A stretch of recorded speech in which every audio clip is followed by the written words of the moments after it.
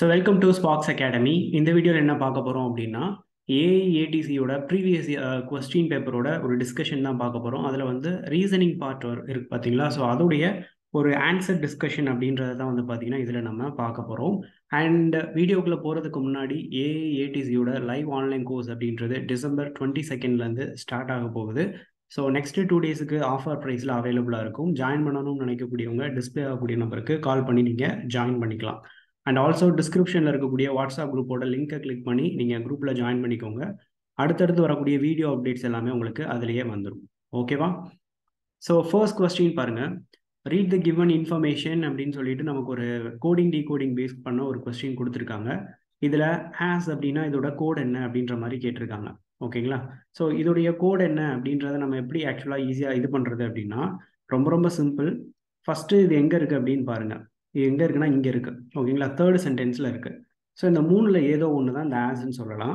இது எப்படி கண்டுபிடிக்கலாம்னா மற்றதை கம்பேர் பண்ணிட்டு நம்ம எலிமினேட் பண்ண போகிறோம் ஃபார் எக்ஸாம்பிள் ஃபஸ்ட்டில் இந்த ஃப்ளோஸையும் இங்கே உள்ள ஃப்ளோஸையும் பார்த்தோம் அப்படின்னா இதில் எது காமனாக இருக்குன்னா இந்த எஸ்ஓஆர் காமனாக இருக்குது ஓகேங்களா ஃப்ளோர்ஸ் மட்டும்தான் இதில் காமனாக இருக்குது இதில் எஸ்ஓஆர் மட்டும்தான் காமனாக இருக்குது ஸோ அதை ரெண்டையும் எலிமினேட் பண்ணுறோம் தென் இது ரெண்டுலேயும் பார்க்குறப்போ எனக்கு இங்கே ஷைன் இருக்குது இங்கேயும் ஷைன் இருக்குது இந்த காஸ் அப்படின்றது எனக்கு காமனாக இருக்குது அப்போது ரிமைனிங் இருக்கக்கூடிய இந்த ஆஸ் அப்படின்றது என்னவா இருக்கும்னா எஃப்ஓஎல்லாக இருக்கும். ஓகேங்களா ஸோ இப்படி தான் நம்ம வந்து கால்குலேட் பண்ணணும். ஃபார் எக்ஸாம்பிள் எப்படின்னா இப்போ ஃபஸ்ட்டு எனக்கு எஸ்ஓஆர் எஸ்ஓஆர் அப்படின்றது இது ரெண்டுலேயும் காமனாக இருக்குது இங்கே ரெண்டு இதுலேயும் யார் காமனாக இருக்கான்னா ஃப்ளோர்னா ஃப்ளோர்னா எஸ்ஓஆர்னு அர்த்தம். ஷைன் அப்படின்னா கே சிஓஎஸ்ன்னு அர்த்தம். அப்போ மீதி இருக்கக்கூடிய ஏஎஸ் ஆஸ் அப்படின்றது என்னன்னா எஃப்ஓஎல் ஓகேவா நெக்ஸ்ட் பாருங்க இந்த ரோ ஃபேஸிங் ஈஸ்ட்னு சொல்லியிருக்காங்க. ஈஸ்ட் அப்படின்றத மென்ஷன் பண்ணியிருக்காங்க. பட் நீங்கள் வந்து நார்மலாகவே வந்து நார்த்தை ஃபேஸ் பண்ண மாதிரி கூட அரேஞ்ச் பண்ணிக்கலாம். ஓகேங்களா பெருசாக ஒன்றும் சேஞ்சஸ் இருக்காது. Kiran is sitting twelfth from the right ஓகேங்களா இது வந்து ரைட் ஹேண்டு ரைட் ஹேண்ட்லேருந்து வந்து பார்த்தீங்கன்னா கிரண் வந்து டுவெல்த் இதில் இருக்கார். அப்போ இங்கே லெவன் மெம்பர்ஸ் இருப்பாங்க. அதானே அதோட meaning Vinay is sitting fifteenth from the left லெஃப்ட்லேருந்து Vinay பார்த்தீங்க அப்படின்னா ஃபிஃப்டீன்த் ஓகேங்களா ஸோ இங்கே வந்து எனக்கு ஒரு ஃபோர்டீன் மெம்பர்ஸ் இருப்பாங்க. வினய் இங்கே இருக்காரு. And Kiran is sitting to the immediate left of Vinay ஓகேங்களா இமீடியட் லெஃப்ட் ஆஃப் வினய் அப்படின்னா வினய்க்கு இமீடியட் லெஃப்டில் கிரண் இருக்காரு. How many peoples are sitting in a row so இதில் என்ன லாஜிக் அப்படின்னா கிரண் வினய் இருக்காரு. கிரண் வந்து ரைட்ல இருந்து டுவெல்த்து அப்போ இவர் லெவன்த் இருப்பார். ரைட்டா ரைட்ல இருந்து வினய் வந்து லெவன்த்து லெஃப்ட்ல இருந்து வினய் வந்து எவ்வளோ அப்படின்னு பார்த்தீங்கன்னா ஃபோர்டீன் சாரி ஃபிஃப்டீன்த்துன்னு சொல்லிட்டு நம்ம ஆல்ரெடி பார்த்துட்டோம். இதுலேயே கொடுத்துருக்காங்க இட் இஸ் ஃபிஃப்டீன்த்து ஸோ இந்த மாதிரி ஒரு பர்சன் வந்து லெஃப்ட்லேருந்து ஒரு வேல்யூவும் ரைட்லேருந்து ஒரு வேல்யூவும் கொடுத்துருந்தாங்க அப்படின்னா அது ரெண்டையும் ஆட் பண்ணிட்டு ஒரு ஒன்னை மட்டும் மைனஸ் பண்ணிங்கன்னா ஆன்சர் கிடச்சிரும். அதாவது அந்த ரோலை மொத்தம் எத்தனை பேர் இருப்பாங்கன்றது தெரிஞ்சிடும் மொத்தம் இருபத்தஞ்சு பேர். வினய் வந்து லெஃப்ட்லேருந்து பதினஞ்சாவது ஆள் ரைட்லேருந்து பதினோராவது ஆள். அது எப்படி கண்டுபிடிச்சேன் அப்படின்னா கிரண் வந்து நமக்கு இங்கே இந்த லெஃப்ட்டில் இருக்காங்கன்னு சொன்னாங்கல்ல வினைக்கு லெஃப்ட் அந்த பாயிண்ட்டை வச்சு நான் கண்டுபிடிச்சினேன். ஸோ இப்போ யாருன்னு பார்த்தீங்கன்னா வினை வந்து ரைட்ல இருந்து லெவன்த்து லெஃப்ட்லேருந்து ஃபிஃப்டீன்த்து ஸோ இது ரெண்டையும் ஆட் பண்ணால் எனக்கு இருபத்தி ஆறு வருது. பட் ஆன்சர் என்னன்னா அதோட நம்ம ஒரு ஒன்னை மைனஸ் பண்ணணும். ஓகேங்களா ஸோ டுவெண்ட்டி ஃபைவ் அப்படின்றது தான் கரெக்டான ஆன்சர் அடுத்த கொஸ்டின் பாருங்கள் சிக்ஸ் ஃப்ரெண்ட்ஸ் வந்து ஒரு சர்க்குலர் டேபிளில் வந்து உட்காந்துருக்காங்க ஸோ இந்த மாதிரி ரெண்டு இது போட்டுக்கோங்க. தேவைப்படலாம். பட் சம்டைம்ஸ் ஒரு இதுலேயே ஆன்சர் கூட வந்துடும் Kanika is sitting immediately to the right of Anshu அன்ஷுவோட immediate ரைட்டில் கனிகா வந்து உட்காந்துருக்காங்க ஸோ அன் இங்கே ஏ அப்படின்னா இங்கே கே இங்கே வரும். Only Vinayak is sitting between Anshu and Priyanka Vinayak வந்து sitting between Anshu and Priyanka so Anshu இங்கே இருக்காங்க அப்போ கண்டிப்பாக பிரியங்கா இங்கே இருக்கணும் விநாயக் இங்கே. Sandhya is sitting immediately to the left of Priyanka பிரியங்காவோட லெஃப்ட்டில் வந்து சந்தியா உட்காந்துருக்காங்க ஸோ வெரி சிம்பிள் அரேஞ்ச்மெண்ட் வந்து ரொம்ப ஈஸி ஒரு பர்சன் வந்து நமக்கு தேவையில்லை அப்படியே கூட நம்ம இது பண்ணிடலாம். Who is sitting immediately to the right of Kanika கணிகாவுக்கு ரைட்டில் யாருன்னா யார் மீதி இருக்கக்கூடிய பர்சன் யாருன்னு பாருங்க. ஓகேங்களா ஸோ அவங்க தான் ஆப்வியஸாக நம்ம யாரெல்லாம் வந்து ஃபிக்ஸ் பண்ணியிருக்கோமோ அவங்க இல்லாமல் இருக்கக்கூடிய ஒரு பர்சன் யார் அப்படின்றத நம்ம கண்டுபிடிக்கணும். ஸோ இட் இஸ் ஜெயந்த் அப்போ ஜெயந்த் அப்படின்றது தான் கரெக்டான ஆன்சர் ஓகேவா அடுத்த கொஸ்டின் பாருங்க. சிக்ஸ் ஸ்டூடெண்ட்ஸ் வந்து அதே மாதிரி தான் ஸோ இதுலேயும் வந்து அதே மாதிரி ரெண்டு அரேஞ்ச்மெண்ட் போட்டுக்கோங்க. எதுக்கு இந்த மாதிரி ரெண்டு க்ளூ போடுறோம் அப்படின்னா மேபி ஒரு சில இதில் ரெண்டு இது போட்டால் தான் நமக்கு ஈஸியாக எலிமினேட் பண்ண முடியும். அந்த ஒரு ரீசனுக்காக தான் சம்டைம்ஸ் ஒரு இதுலேயே ஆன்சர் வந்துடும் அது நம்மளோட லக்கு தான். ஓகேங்களா Rajat and Divya are sitting together அப்படின்னு கொடுத்துருக்காங்க. ஓகேங்களா ஸோ ராஜத் அண்ட் திவ்யானா ராஜத் திவ்யா இப்படி உட்காந்துருக்கலாம் அல்லது ராஜத் திவ்யா அப்படின்ற மாதிரி பார்த்தீங்கன்னா நமக்கு இப்படி கூட உட்காந்துருக்கலாம் ஓகே இங்கிட்டு திவ்யாவும் ராஜத்தும். Rajat and Divya sitting together Rajat is sitting immediately to the left of Kamal கமலுக்கு இமீடியட் லெஃப்டில் ஓகேங்களா அப்போ கமல் இங்கே இருந்தால் தான் இமீடியட் லெஃப்டில் இங்கே வரும். இங்கே வந்து கமல் வந்து இங்கே வருந்ததுன்னா கண்டிப்பாக இது ரைட்னு வந்துடும் அப்போ இது வந்து வராது எனக்கு ரைட்டா who sitting second to the left of Vinay Kamal வந்து second to the left of Vinay அப்படின்னா வினய்க்கு செகண்ட் லெஃப்டில் Kamal. Lalit is not the neighbour of Divya Lalit இங்கே வராட்டி இங்கே தான் வருவார். அப்போ இந்த பிளேஸில் மீதி இருக்கக்கூடிய அந்த இன்னொரு பர்சன் யாரும் நவ்யா வந்து வருவாங்க. Who is sitting second to the left of Lalit second to the left of Lalit யாரு அப்படின்றத நம்ம பார்க்கணும். ஓகேங்களா ஸோ லலித் இங்கே இருக்காங்க. ஃபேஸிங் சென்டர் அப்படின்னா ஈச் அதர் அப்படின்னா நமக்கு இந்த சைடு நம்ம என்ன பண்ணணும் அப்படின்னா ஜஸ்ட்டு இது வந்து லலித்துக்கு இது வந்து லெஃப்ட்டு இது வந்து ரைட்டு ஓகேங்களா அப்போ இங்கே second to the left of Lalit அப்படின்னா ஆர் ராஜத் அப்படின்றது தான் கரெக்டான ஆன்சர் ஓகேவா அடுத்தது பாருங்கள் how many such numbers are there இந்த கிவன் சீரீஸ்னு சொல்லி கேட்டிருக்காங்க. ஒரு ஆல்ஃபா நியூமரிக் சீரீஸு நம்பர்ஸ் எத்தனைன்னு கேட்டிருக்காங்க. Immediately preceded by a letter நம்பருக்கு முன்னாடி என்ன இருக்கணும்? ஒரு லெட்டர் இருக்கணும். ஃபாலோடு பை அ சிம்பிள் ஓகேங்களா லெட்டர் நம்பர் சிம்பிள் அப்படின்னு எந்த இடத்துல இருக்குன்னு பாருங்கள் ஸோ மோஸ்ட்லி சிம்பிள் வச்சு பார்த்தீங்கன்னா ஈஸியாக இருக்கும். கண்ணில் உடனே தட்டுப்படும். இங்கே ஒரு சிம்பிள் இருக்குது சிம்பிளுக்கு முன்னாடி நம்பர் இல்லை. இங்கே ஒரு சிம்பிள் இருக்குது சிம்பிளுக்கு முன்னாடி நம்பர் நம்பருக்கு முன்னாடி லெட்டர் அப்போ இது ஒன்று இங்கே ஒரு சிம்பிள் இருக்குது சிம்பிளுக்கு முன்னாடி நம்பர் நம்பருக்கு முன்னாடி லெட்டர் ஸோ இது ஒன்று இங்கே ஒரு சிம்பிள் இது எல்லாம் வராது. ஸோ அவ்வளோதான் நமக்கு சிம்பிள் ஸோ ரெண்டே ரெண்டு தான். ஸோ டூ அப்படின்றது தான் கரெக்டான ஆன்சர் ஓகேவா அடுத்தது பாருங்க. ஒரு எவாலுவேஷன் கொடுத்துருக்காங்க. கொடுத்துட்டு இதோடைய ஆன்சர் என்ன அப்படின்ற மாதிரி கேட்டிருக்காங்க. ஸோ இதில் ரொம்பவுமே வந்து சிம்பிளான ஒரு விஷயம் என்ன அப்படின்ற மாதிரி பார்த்தீங்கன்னா ஜஸ்ட்டு நமக்கு கொடுத்துருக்கக்கூடியதில் அப்படியே ரீப்ளேஸ் பண்ணி நாம் எழுதணும். ஓகேங்களா ரீப்ளேஸ் பண்ணி எழுதிட்டீங்க அப்படின்னா ரிமைனிங் பார்ட் வந்து உங்களுக்கு ரொம்பவுமே ஒரு ஈஸியான விஷயமா இருக்கும். மற்றபடி நமக்கு இதில் பெரிய ஒரு கேல்குலேஷன் பார்ட்டோ அந்த மாதிரி எதுவுமே இல்லை.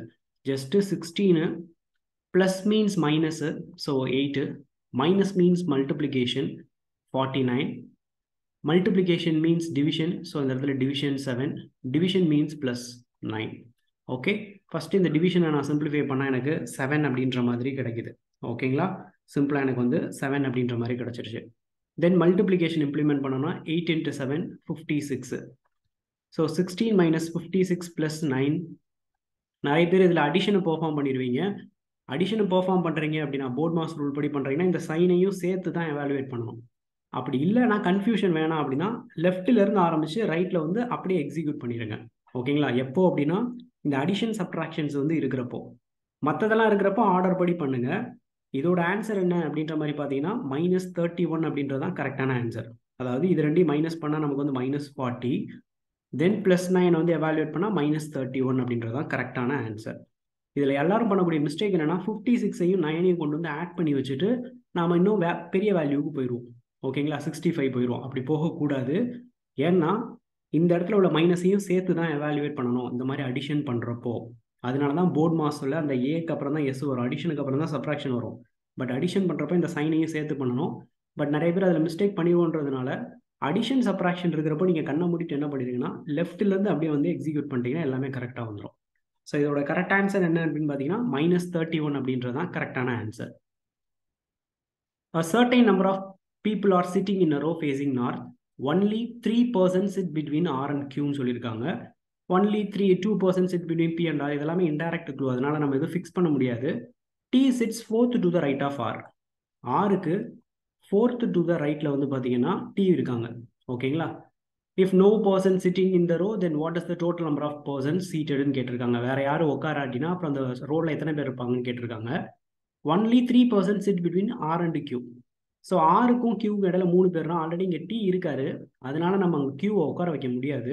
அப்போ நம்ம இந்த சைடு உட்கார வைக்கிறோம். கியூவை ஓகேவா only two persons sit between P and R only two persons sit between P and ஆர்னா P இங்கே இருக்கலாம் அல்லது பி இங்கே இருக்கலாம். நமக்கு கரெக்டாக தெரியாது. ஓகேவா மொத்தம் இத்தனை பேர் தான் இருக்காங்கன்னா ரோலை எவ்வளோ பேர்னு பாருங்கள் one two three four five six seven eight nine அப்போ மொத்தம் நைன் மெம்பர்ஸ் இருக்காங்க.